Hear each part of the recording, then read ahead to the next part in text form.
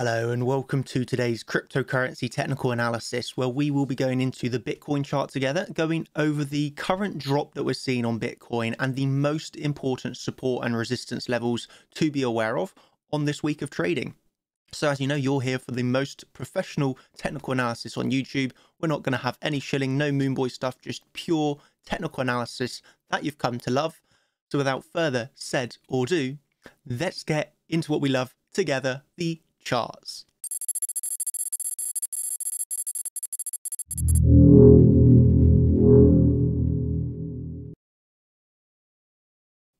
So Bitcoin, Bitcoin, Bitcoin, Bitcoin. We obviously saw a move up yesterday up to around $49,000, holding just shy of that big, big resistance of $50,000. This is just, in my opinion, a psychological level it's like a level that you have to imagine people that have been making really good profits on this way up. This is naturally going to be a really big take profit level. So you so the selling pressure in the market basically increases. You're seeing an increase in people willing to sell at this level, primarily profit taking. Because obviously, like we say many, many, many times, unrealized profit is fake money. Okay. You, you don't actually make profit until you sell. So naturally, at such a psychological level, fifty thousand dollars, people are people are interested in selling here. So that's kind of why you get these build-ups of you know a really tight battle between support and resistance, really tight battle between the bulls and the bears, and ultimately on on this battle we can say the bears have slightly come out on top. Nothing major. This is just a small move, in my opinion. If you're if you're worried about this move to the downside, there's one of a few things that why you might be worried or emotional at this moment in time. Number one, you're using too much leverage. If you are scared about this move to the downside, then you're just using too much leverage. Number two, you, you don't have a good trading plan. like, uh, yeah, just period. You don't have a good trading plan if you're worried about this move. And thirdly, I suppose you just don't have a plan at all. So if you have no plan and you see this move to the downside and you start panicking, you start getting emotional, then you know you're going to lose money. Let's just put it like that. Um, so yeah, I think if you approach this in a non-emotional way, you just cover the most important support and resistances, which I'm going to go over now. Um, you know, there's no reason to be emotional, worried, or anything like that in this video. Just just purely trade the charts. It's pretty clear why we rejected off this region. It's in my opinion just simply because of that big 50,000 psychological level. You had a little bit of a front run, and well, selling pressure in the end came too much, and you, you fall to the downside. And what you have to remember is I mean, I personally am under the perspective that if you're buying at $49,000 on the weekends, you know, what is going through your thought process right now? What in what world is buying $49,000 on a weekend a good is a good buy? I think it shows a, a massive sign of fear of missing out. And it also shy, shows a massive sign of having no patience. You know, buying up at these levels is, in my opinion, really crazy, I suppose, and, and just not a good idea in any any way, shape, or form. Like buying the all time high weekend, I don't know, doesn't generally work in a very good idea. Uh, so, what did you have that really went on here? Obviously, you had this rising wedge. So you did have a rising wedge, and that obviously is a it is a bearish pattern.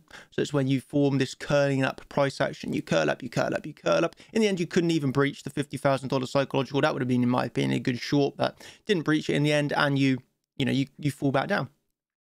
And this is the really interesting part. You know, this is where we can say we absolutely love technical analysis and we love trading the charts because have a guess. What is the Fibonacci level of chart champions? Well, our Fibonacci level is the CC. And ladies and gentlemen, if you look where we bounced from here, okay, we take our fibs from the low up to that high, and you can see we come straight down into that CC support. So you form a rising wedge, which is obviously is a bearish pattern. You you fall down from the rising wedge but then the level where you bounce, just just look at the precision on that. That is the CC Fibonacci level, and you're bouncing off of that with utter precision uh, for a move, obviously a, a bounce to the upside. So I think we can all acknowledge and agree that that is clearly a really big support level. That's obviously coming in there a low of around forty-five thousand eight hundred dollars. So we can say that forty-five thousand eight hundred is a really really big support currently. Okay, it was the CC. You also took some lows, and you know you've had a you've had a strong bounce from that level. If you actually see here, if we come down on a lower term time frame, obviously we bounced from the CC. you know here when we hit 45,800. And then if you look again from the low to the high, you come back into then the CC and you bounce again. So it's like you bounce from the overall CC, and even if you miss that move, if you have a little bit of patience, you have a secondary move into then this CC. So I mean, yeah, let's just say there's been plenty of opportunities should you have wanted to long this instead of you know instead of longing up at all time highs on a weekend. You got you got to wait for those retracements. You got to wait for those better areas of value, and I and I truly believe that just requires a little bit of patience. Obviously, it requires having a plan, and there's no need to be worried or emotional when price is coming down here. Uh, obviously, I've done a I done a champions live stream last night, uh, the 14th, Valentine's Day. We were going for a champions live stream last night where I personally have a plan, and all I can say, I don't want to give away the exact levels that I'm looking to buy because obviously this is for the champions who have who are in the membership. But nevertheless, I was I, all I can say is I'm happy that we got a drop to the downside, and I don't think there's any reason to be worried or fearful about these drops. They're just offering good trades. Let's put it like that.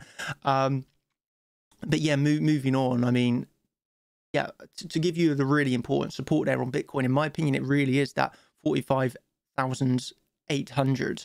Uh, that is again the, the CC support. We have now taken the lows, and well, there's uh, uh, uh, that's just really, in, in my opinion, the, the, support of today. Okay, the support of today. Obviously, tomorrow you could break support and, and head back down.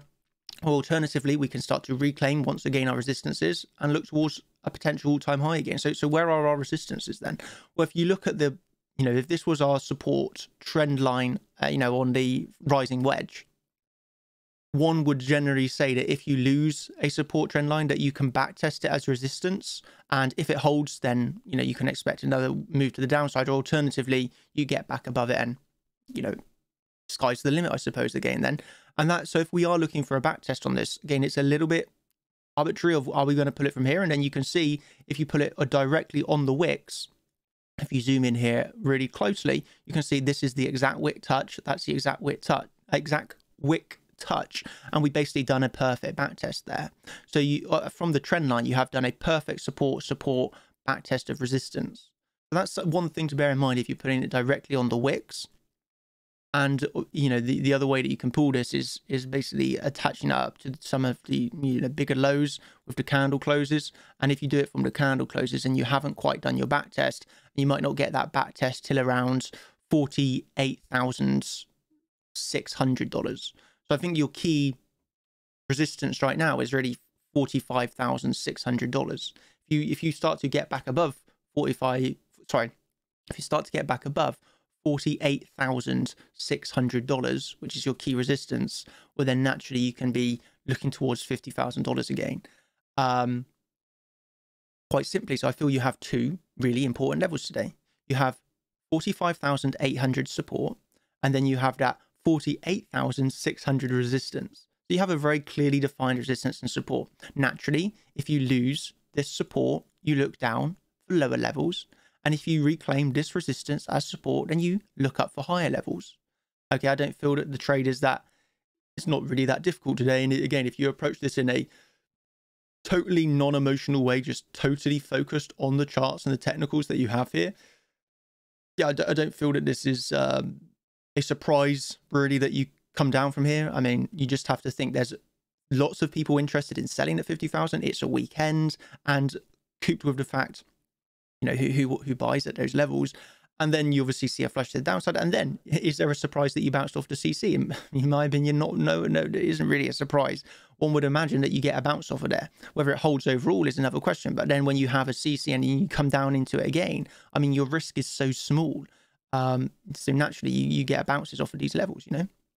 Um, so you know that that's my opinion on the chart. Again, this is a very professional driven analysis where I'm just truly looking at the charts and I'm giving a support, a clear support. If that clear support is lost, you look down for your next lower support. A clear resistance. If that clear resistance is broken, you look up for your next resistance level.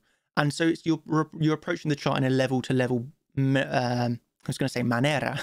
uh, you're approaching it a level to level way, um, which is, which in my opinion is the best way to trade. You're not going to be driven by emotions. You're not going to be driven by fear. You're not going to be driven by either fear or fear of missing out.